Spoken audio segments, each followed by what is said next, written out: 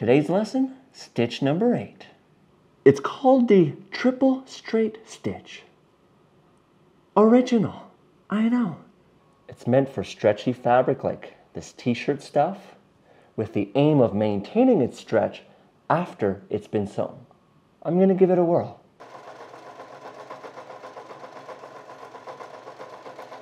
And to see the difference, this is a regular stitch and this is the triple straight stitch. Say that three times fast.